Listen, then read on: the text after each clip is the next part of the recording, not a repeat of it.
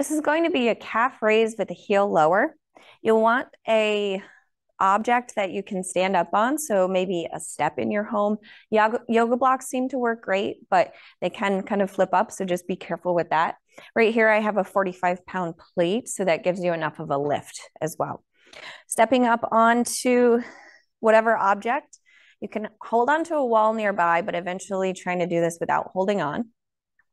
You're going to get the heels off of the surface and then press up onto the tiptoes and then slowly lower the heels down toward the ground. So you'll get a little stretch at the end there.